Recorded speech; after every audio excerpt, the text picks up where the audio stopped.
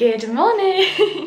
it's currently like 6.30am um, and it's literally so early but I work in London right now so I have to wake up early for that. So I'm just going to make myself some breakfast. I've decided to make some nice cream which is literally just blended bananas and I'm going to make it like a chocolate nice cream so I'm just going to put some cacao powder in there and that's kind of it. It really fills me up and it's really really good.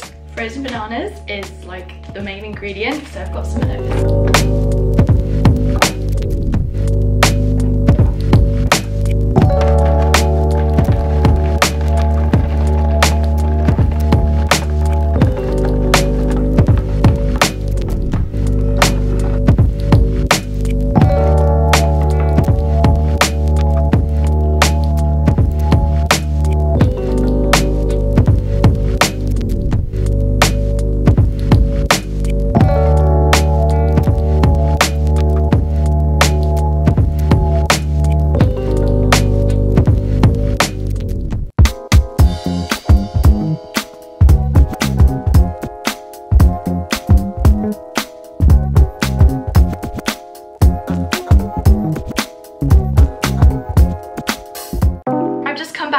And I'm going to be making myself some dinner. So I'm going to be making a giant salad in this massive salad bowl. It's literally bigger than my head. Because I don't know about you, but if I have a little bit of salad, it's not going to fill me up. So I have to have a lot, which is why I love using this massive bowl.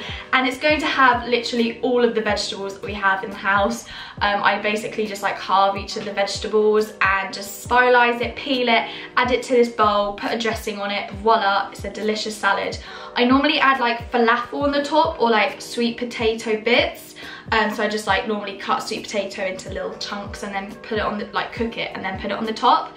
But I don't have any sweet potato and also I don't have any falafel. So it's just a salad for today, but it's all good because I had some protein earlier on.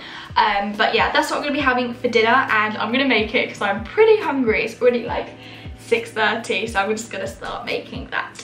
So the vegetables I'm going to be using in this salad is a pepper. I'm just using half a pepper. I'm going to cut up a few mushrooms, um, a few radishes I'm going to spiralise, a cucumber, also a carrot, uh, spinach and half a zucchini. I'm going to spiralise this, peel this and just chop spinach into little bits. Yeah.